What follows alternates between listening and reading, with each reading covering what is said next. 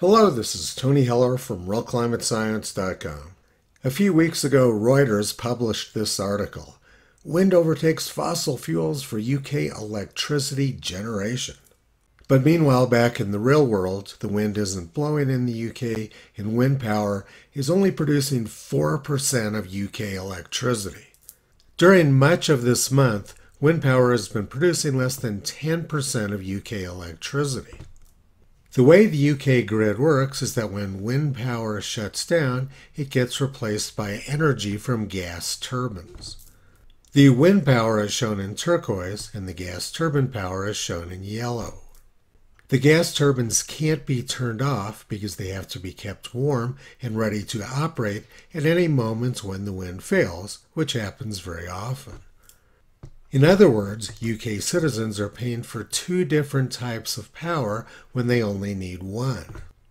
If the wind turbines were eliminated, then the power would come from gas turbines instead, and the cost of electricity would be much lower. The reason that electricity would be cheaper is because consumers would only be paying for one type of electricity generation instead of two. Building and operating these wind turbines is very expensive, but wind is unreliable, and all that wind power does is destabilize the grid. At 4 o'clock this morning, wind was producing 9% of UK electricity, and solar was producing zero. UK electricity was coming from natural gas, nuclear power plants, and expensive electricity imported from other countries. The wind and solar story would be a complete joke, except for the fact that it's making electricity unaffordable for many people in the United Kingdom. There's no path forward for the UK to get rid of their gas turbines because wind is inherently unreliable. It's simply not practical to have people stuck in elevators in the dark for days at a time because the wind isn't blowing.